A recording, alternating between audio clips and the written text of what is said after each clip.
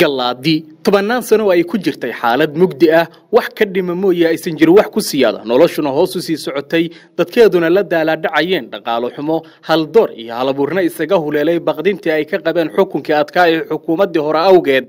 Hadda bulshadeedu waxa ay nuugayaan neecawda xorriyadda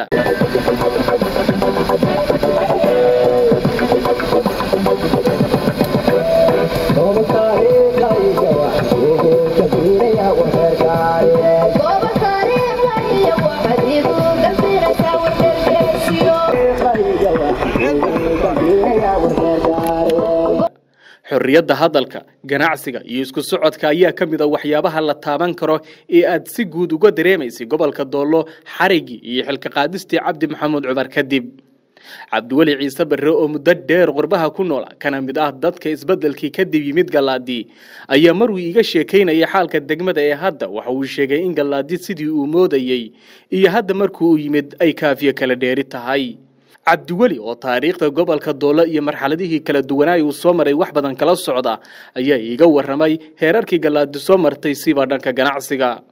Bismillaah alxamdulilah wasalaatu wasalaamu calaa rasuulillaah shulka waa ku salaamayaa welcome to the galadi especially galadi hotel waan hadda dhex fadhino ku soo dhowaada. Intaa ka bacdi waa magaalo qadiimi ah oo ka mid ah magaalooyinka gobolka ku yaalla magaalooyinka u waaweyn. Waxaa lagu qiyaasaa taariikhdeeda in la deganaa ilaa laba boqol iyo saayid laba boqol iyo konton sano in ka badan. Ayaa lagu qiyaasaa galaadi in la deganaa. Sababta loo degay waxay ahayd galaadi biyo. Waxay noqotay meelaha ugu biyaha badan oo biyo laga helkaan galaadi marka marxalad badan bay soo martay marxalad ganacsi bay soo martay. ugu fiicnaa markii ingiriisku deganaa buumin bay noqotay. Oo waxay isku xirtay waqooyi iyo ethoobiya iyo koonfur iyo center oo ahayd. Ganacsi aad u fara badan oo sonkorta qudaarta shamiitada xoolaha ayaa ku kala jiray. Ganacsigaa raggii rangarayn jiray waa la garanaya xaaji aadan yaxyaa ka ahaa ugu caansan xaaji xuseen jibriil iyo rag kaloo aad u fara badan ayaa ka ahaa. Allahu naxariisto dhammaantood waa dhinteen kabacdi dagaaladii markii laga soo baxay ayana waxaa etoobiya qabsatay ganacsiyo badan baa ka abuurmay oo xoolaha iyo dhaqaalaha waqooyi iyo koonfur ayaa laysaga mari jiray.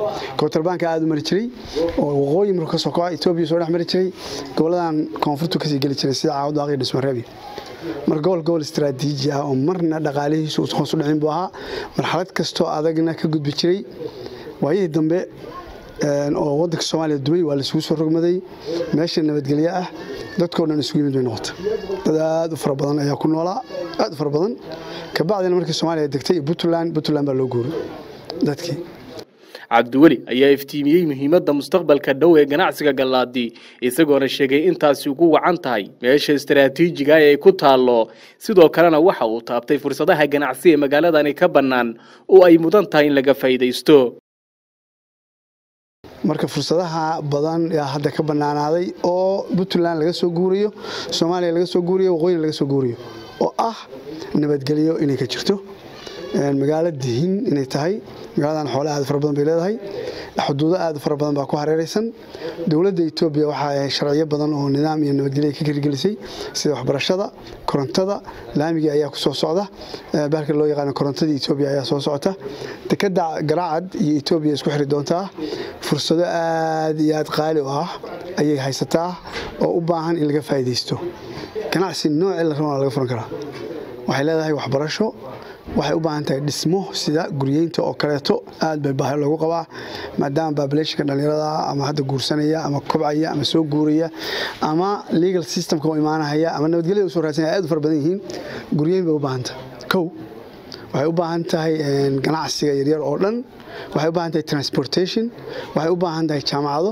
Waxay u baahan tahay kolleejooyin wax aan ka soconayn gallaadi ma jiraan. Waa urban opportunity oo qof kasta ka faa'iidaysan karo. Waxaan ugu baaqaynaa dadka reer gallaadiga ah oo asalkooda halkan ka soo jeedaan iyo dhammaan soomaalida ku hareeraysanba. Gallaadi is a new opportunity weye opportunityga ka faa'idaystaan waya adig ganacsadaa tahay. Aagan hadda gooba ganacsi baad ka hirgelisay kuwa kana waad maagan tahay. Markaagii hore waxyaabahaad kaga fikiraysay ee ganacsi ahaan inaad la kulmi doontid iyo haatan waxyaabahaad kala kulantay bal ka waran sidaad rabtay ma noqotay mise waxaad leedahay waxbaa dhiman? Waa mahadsantahay shuuke magaaladan markii hore waxaan ka aaminsanaa magaalo dhimatay oo aan ganacsi laga samayn karin. Laakiin markaan imid xaqiiqdii waa isbedeshay boqolkiiba laba boqol iyo iswareejisay magaaladan wax kasta oo saa loo taabtaa waa lacag. Dadku waxay u qabaan inay faqri yihiin laakiin faqri maaha. Dadku lacag baa soo gasha. Ugu yaraan dhowr milyan oo bir yaa soo gasha bishii oo mushaar looga qaataa. Waxaa jira xoolo aada u fara badan oo halkan laga gato oo gobollada soomaaliya koonfurteeda puntland iyo waqooyiba ka aada. Lacag aada u fara badan oo dolar waxaa jira dad badan oo qurba jooga oo lacag soo dira. Dadku waa dhaqan yihiin. Midda labaad roobo badan baa ka daya waddankan. Xoolaha iyo caanaha iyo subagu waa barwaaqo yacni waxaa dadku haystaa lacag waa dhaweyto lacag la xaraynayay hordheer baan joogay. Lacagaha ugu faraha badan oo bangiyadii la yaabeen waxay ka yimaadeen gobolkan. Soonahan doollo iyo ka yimaadeen especially galaadiya rijkeeda oo la xaraynayo oo la bedelanayo lacagta cusub lagu bedelanayo marka waxaan dadka ugu baaqaynaa wax fakri ah iyo wax caqabada kama jiraan.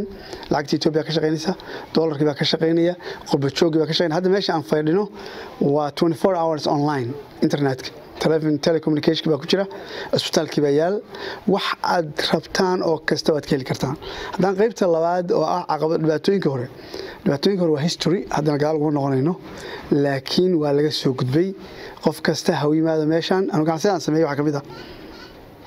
Hotel yar baan furay. Habeenkaas waa buuxsamaa magaaladan dhibaatada baahida ugu badan ay hadda qabta hotel. Dadkii hoteele ay u baahan yihiin hadduu caawad waaqiya halkaas iyo cadaada ka imaanayo hadduu puntland ka yimid hadduu jigjiga ka yimid hotel baahida waa qabtaa kow. Isbitaal baahi bay qabtaa labo. Waxay qabtaa housing oo guryihii bay u baahanta. Waxay u baahan tahay xoolihii dadka faa'iidaysta oo nidaamkii hore xoolaha loo dhaqan jiray ka bedela wax yar. Wax aysan u baahnayn ma jirto wax caqabada oo hortaagana ma jiro. Dowladda iyo nidaamka meesha ka jira waa niman dhallinyara oo soomaali ah oo carbisan. Waxay gacmo furan ku soo dhaweynayaan dadka. Diyaarna ula qof allaaliya qof ka yimaada. Gobolku raba ha ka yimaado meesha rabana ha ka yimaadee. Oo waddanka invest waxay diyaar u leeyihiin inay soo dhaweeyaan. Dadkuna dad aada u bisil oo reer magaala weeye. Dadkana soo dhaweyan dhalinyaro badan baa joogta. Oo ayaguna diyaar u ah dadka inay soo dhaweeyaan. Haddaad xoolahaaga dhigatid waddada dhexdeeda cidna kaa taaban mayso. Nabadgelya darteed gaarigaaga bacaadkaasa ku seexan kartaa. Intaad cid kaa taabanaysa ma jirto dhibaatana ka walwalmaysa galaadi waa open opportunity. Ha la yimaado ha la soo dego ha laga faa'iidaysto jaaniskaas shuka aadan guray galaadi